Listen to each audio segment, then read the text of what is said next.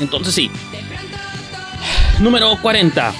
está la película Work It. Ese fue un estreno de Netflix. Dirigido por Laura Terruso. Que Laura Terruso, ¿qué más hizo? No, pensé que había hecho otras cosas este, que había visto previamente, pero no. Lo que escribí en el box de esta película fue eh, lo siguiente. Dice, no sabía quién era Sabrina Carpenter, más allá de su nombre, antes de esta movie. Créanme, todos seguiremos su carrera después.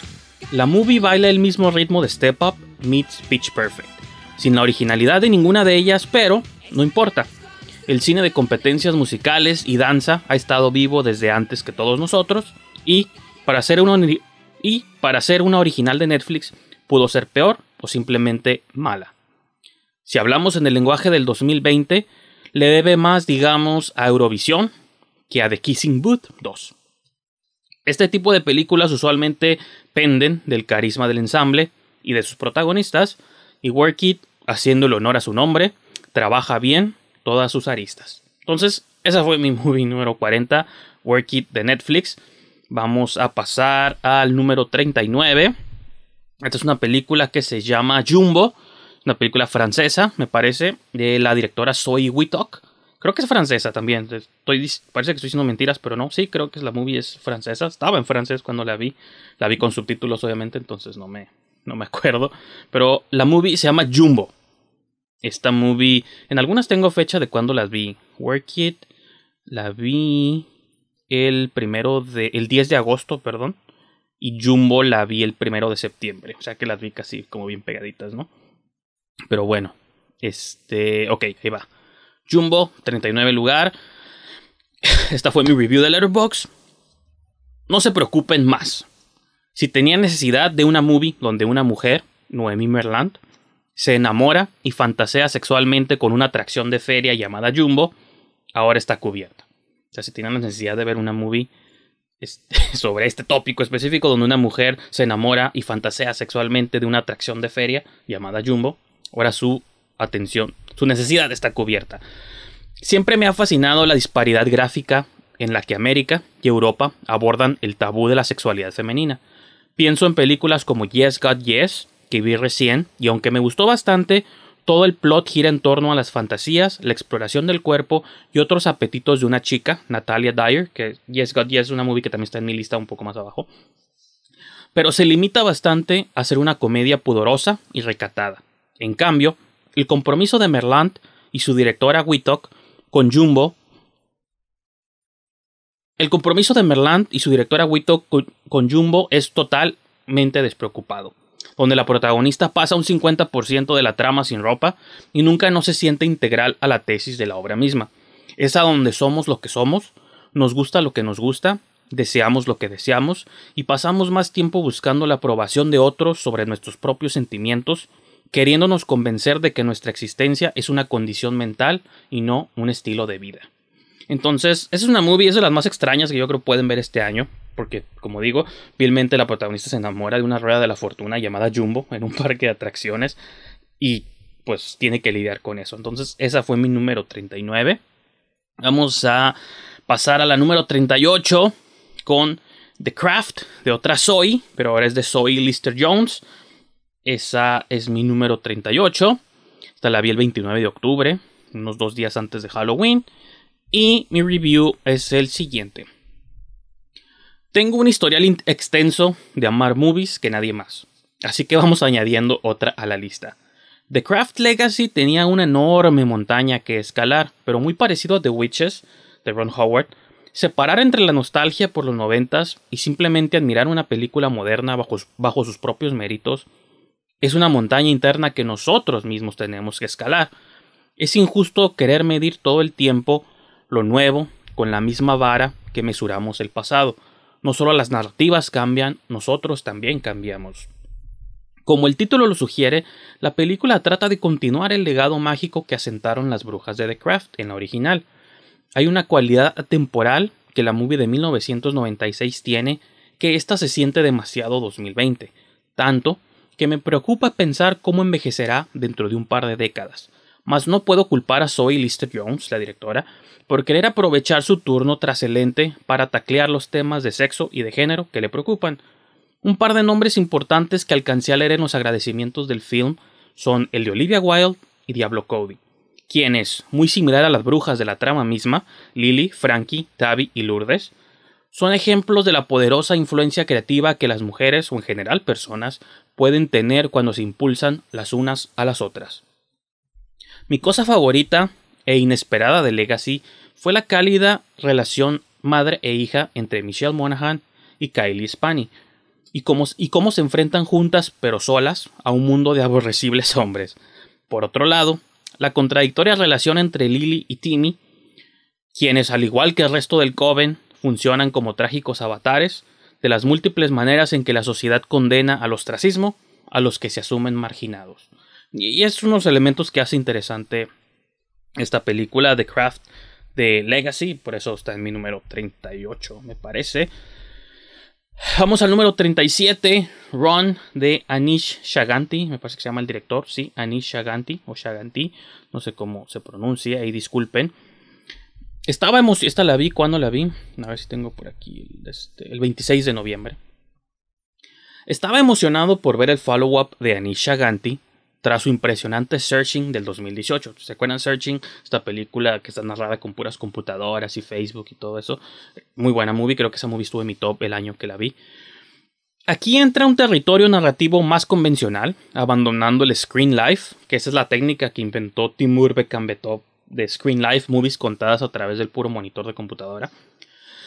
Eh, dice, abandonando el Screen Life y la vida digital, aunque no puede evitar autorreferenciarse de vez en cuando, para contar un thriller casi de single location, muy a la Blumhouse, muy a la Blumhouse.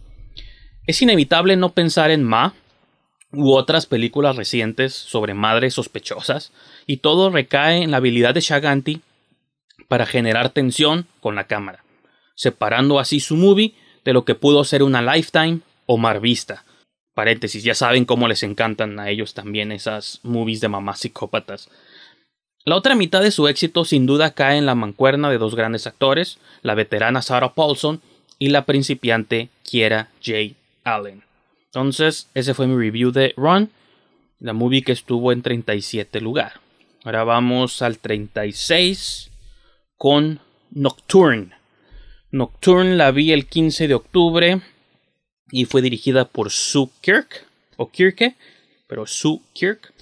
Y vamos a leer el, el review en los próximos dos o tres segundos. Déjenme un poquito de agua. Este. Ok. Este año he visto mi dosis de óperas primas que han colocado en el radar una amplia gama de cineastas debutantes. Vamos a citar múltiples. Carlo Mirabella Davis con Swallow, Andrew Patterson con The Best of Night, Blow the Man Down, dirigida por, co-dirigida por Daniel Kurdi y Bridget Savage Cole, Emma, de Autumn the Wild, y Soy Wittok con Jumbo, que una de ellas ya las mencioné y otras las voy a mencionar más adelante. Incluso arrastraré un par que me vienen a la mente del pasado año, como Braid de Mitzi Peirone, que ya está en iTunes, por cierto, la pueden comprar, se las recomiendo, y Paradise Hills de Alice Waddington, entre muchos, muchos otros ejemplos. Todo ese comercial fue para decir que añado orgullosamente a Kirk a la dicha lista, pues con su Nocturne comparte varios elementos con los realizadores citados, ya citados. La idea no es que hagan su obra maestra tras un primer intento, pero claramente existen las herramientas visuales y tienen las influencias indicadas para hacerlo. Es una cruz entre Raw y The Perfection, si tuviera que compararla con algo reciente, bastante reminiscente a esas Yali de mujeres en problemas, poseídas por su arte, música clásica, instituciones grises y pasillos penumbrosos, acechadas más por entidades simbólicas que sobrenaturales. Lo mejor de todo es que la película me parece una crítica a la educación rigurosa y las escuelas pseudo prestigiosas, que manipulan la psicología de una juventud para perseguir la perfección, pero, en el gran esquema de las cosas, dominar las reglas de un sistema educativo en la vida no significa nada. Finalmente, lo más superficial de mi admiración por Nocturne es que le di play por Madison Iceman pero realmente me quedé aferrado al asiento por el performance de Sidney Sweeney, quien saltó al spotlight con euforia y fue Snake, una de las Manson Girls en la película de Tarantino, pero acá demuestra un increíble rango y poder en su expresión. Entonces, ese fue mi review de Nocturne de Sue Kirk. Ahora vamos al número 35. Esta la vi el 5 de octubre y la dirige Brad Grant. Esta movie se llama 12 Hour Shift o turno de 12 horas. Y este fue mi review en Letterboxd. Dice, aquí estoy scrolleando. Disculpen. Ok, ya. Una sorprendente indie de horror, aparentemente ensamblada de nada, pero con una idea retorcida y contundente. Un caper criminal. Dos puntos. Es un caper criminal de órganos, riñones en específicos, para vender en el mercado clandestino, ejecutado por personajes incompetentes y un humor súper, súper negro. El guion de Brad Grant, que también es directora, explota al máximo su única locación, los corredores ocupados de un hospital, para presentarnos un elenco de quirky characters y de cómo se tropiezan de una situación caótica a otra, irreverente y ultra sangrienta. Es difícil no decir que Mandy, la enfermera antipática pero efectiva, interpretada por Angela Betty, se roba el show, como suele, pero el cañón suelto de Regina, su prima interpretada por Chloe Farnworth, le da una corrida por su dinero. Este, como el título lo sugiere, 12 Hour Shift es para, es para quienes quieran pasar un turno extendido de medianoche, 12 horas, en una clínica del infierno. Y 12 Hour Shift es una movie que los incito a que la busquen. Obviamente todas estas están en mi lista porque me gustaron mucho, pero la de 12 Hour Shift me gustó bastante. Y sí está como muy abajo en la lista tal vez, pero creo que es de las movies que más se quedaron conmigo este, este año. Entonces sí los invito mucho a que vean 12 Hour Shift, si la pueden encontrar por ahí. Número 34 tenemos Buffalo o Bufaleado este, hay un, título raro le pusieron aquí en México. Sí la llegaron a estrenar unas cuantas semanas en cartelera. Me acuerdo de haber visto el póster. Creí que en mi vida esta movie iba a llegar a, México. Pero sí llegó. En 34 lugar tengo Buffalo, dirigida por Tanya Wexler. Y a continuación va mi pequeña texto que escribí cuando la vi en Letterboxd. Dice: Aunque Soy Deutsch lleva rato en películas, Casi siempre es como carismático personaje secundario o lead de comedias románticas. Esta es la movie que espero sea su vehículo transformador de indie darling a superestrella. Ya lo han mencionado en otros lados, pero sí, Buffalo parte de una estructura muy The Wolf of Wall Street, muy lobo de Wall Street, curiosamente escrita por Brian Saka, actor que sale en aquella película y acá interpreta este Así, no, no, perdón, eso no está ni escrito, no sé por qué lo dije. Dice, Buffalo parte de una estructura muy El Lobo de Wall Street, paréntesis, escrita por Brian Saka, actor de aquella película, así que trazar líneas es bastante claro. Pero Zoe Deutsch, como Peggy Doll, bien pudo ser la quinta hustler en el equipo de Jennifer López en la película de Loren Scafaria. Impulsada por ambición y dinero, como los mejores de estos personajes, nunca se disculpa por estafar su camino hacia la cima aunque sus patos posiblemente le traiga consecuencias catastróficas y una caída estrepitosa. Y repito, todo es derivado de un brillante performance central. Hay una larga tradición de cine que solicita empatía por nuestros criminales, y sin Deutsch a la cabeza, la línea entre odio y comprensión se volvería muy muy delgada. También, una gran movie y un gran performance central, y se lo recomiendo bastante, obviamente. Seguimos, seguimos en la, bajando en la lista. Número 33 tenemos The High Note o la nota alta eh, de Nisha Ganatra. Esta movie la vi el 2 de junio y esto fue lo que escribí de The High Note. Ya saben lo que voy a decir. Dakota Johnson no comete mal ante mis ojos y eso es verdad. Para mí, ella entra en la misma categoría de Kristen Stewart o Robert Pattinson es donde sus carreras postadaptaciones malas de novelas románticas se han convertido en un magnífico tour de redención. Aquí ella encabeza un drama cómico sobre el mundo de la producción musical, que vive en una suerte de Yesterday o A Star is Born, quizá con mayor sustancia que la primera, o sea, Yesterday, pero menos estilizada o intensa que la de Bradley Cooper.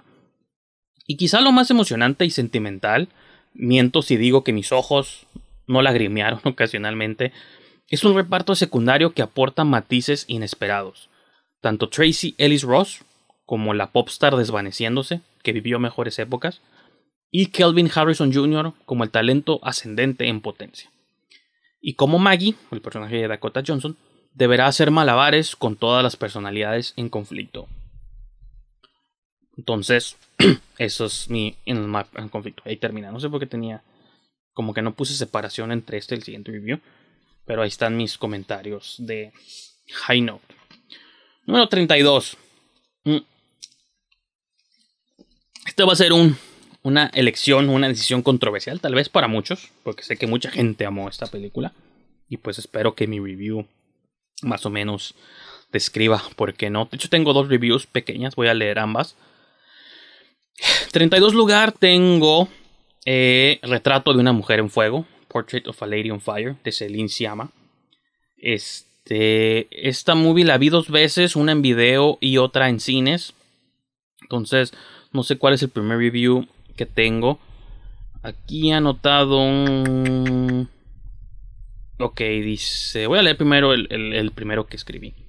Dice, aunque comparte los mejores beats de una de mis películas favoritas de la década, Carol, también tiene elementos de una de mis más odiadas, Call Me By Your Name. En ese limbo entre lo extraordinario y lo insoportable vive Portrait of a Lady on Fire. No es una mala película, ni a leguas, todo lo contrario, pero hubo segmentos en el centro donde nunca sentí el punch emocional para el que me estaba anticipando, casi rechinando los dientes. Es cosa de conexión personal y el hype es una cosa real, si no pregúntenle a todos los que apenas vieron Parasite después de ganar el Oscar. Posiblemente en este caso a mí el hype me predispuso demasiado. Prometo un par de, en un par de meses, prometo verla en un par de meses, reverla en un par de meses, tal vez cuando finalmente azote teatros. Entonces, el review que escribí cuando una vez que la vi en cines es el siguiente. Dice, cuando reseñé Portrait la primera vez, atrás, en febrero, comenté, prometo un, par, un rewatch en un par de meses. Supongo que ese par de meses tomaron más de lo planeado, gracias COVID, entre paréntesis.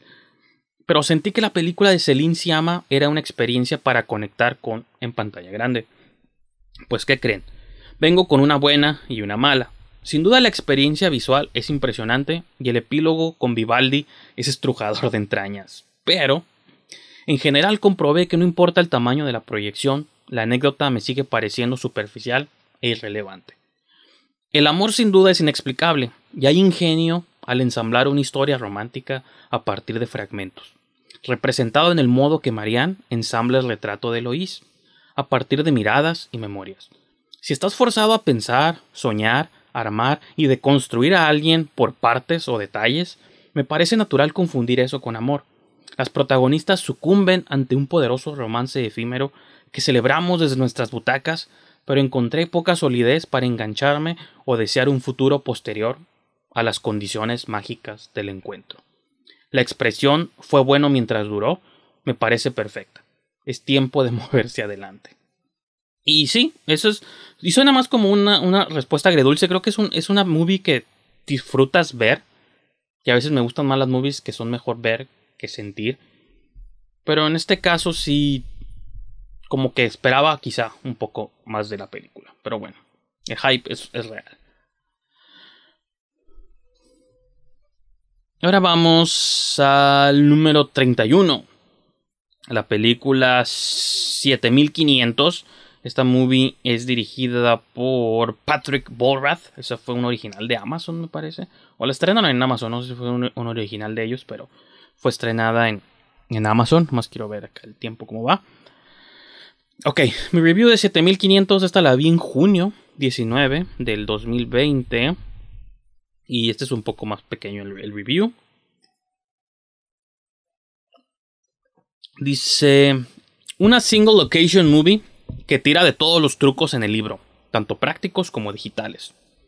Atrapados con Gordon Levitt, estamos atrapados con Gordon Levitt en la cabina de pilotaje durante un secuestro terrorista aéreo.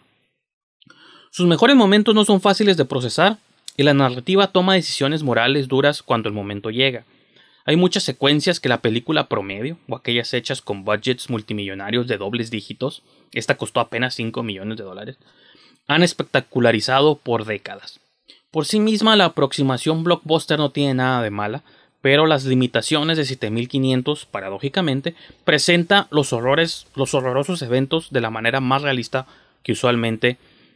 Pero las limitaciones de 7500, paradójicamente, estoy repitiendo, presenta los horrorosos eventos de la manera realista que usualmente el resto del mundo, incluido el piloto de avión, hemos presenciado por años, a través de voces externas y un monitor de televisión. O sea, de que esas limitaciones, creo que está un poco confuso mi redacción, disculpen, pero que las limitaciones de ver todo a través de monitores y voces funciona porque usualmente un piloto así es como experimenta una situación así caótica. Entonces, creo que le funciona para esta. En fin, vamos a la número 30.